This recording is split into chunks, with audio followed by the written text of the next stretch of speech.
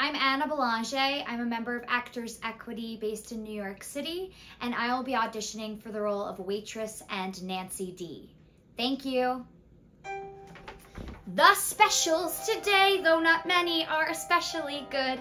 First, the fish of the day, calamari, which isn't a fish that lives in the sea, but set in this dish, it happens to be the fish of the day. Okay, sauce that's meaty. It's fun, and there's a lot, and that's the specials. Are we ready to order?